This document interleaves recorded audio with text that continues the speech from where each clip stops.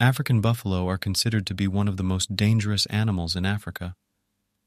They are known for their aggressive nature and their ability to gore or trample their attackers. African buffalo are large, powerful animals that can weigh up to 1,500 pounds. They have long, curved horns that can be used for defense or attack. African buffalo are very social animals and live in herds of up to 1,000 individuals. They are most dangerous when they are cornered or injured.